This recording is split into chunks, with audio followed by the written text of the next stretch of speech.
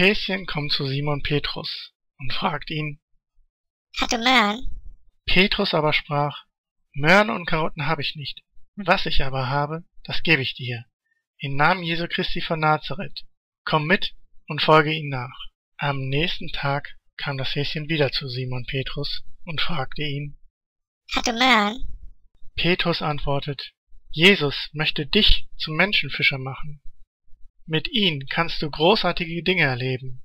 Du wirst nie wieder fragen müssen, hat du Möhren? Komm, lass uns gemeinsam Jesus folgen. Am nächsten Tag fragte das Häschen wieder Simon Petrus. Hat du Möhren? Nachdem Häschen ihn jetzt das dritte Mal nach Möhren gefragt hatte, wurde Petrus sehr traurig, denn er erinnerte sich daran, dass er Jesus dreimal verleugnet hatte.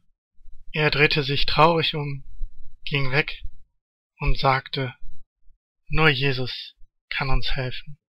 Häschen rief ihn fragend hinterher, Warum hat du das nicht sofort gesagt? Hallo, ich bin Jens der Christ. Und ich glaube, dass es uns Christen manchmal genauso geht wie Simon Petrus in diesem Witz. Wir versuchen alles Mögliche, damit Menschen Jesus nachfolgen. Aber sie verstehen es einfach nicht. Erst wenn wir uns darauf besinnen, dass wir auch Sünder sind und Jesus Hilfe brauchen, können wir es schaffen, Menschen zu überzeugen. Und dann ist es einfacher, als wir dachten.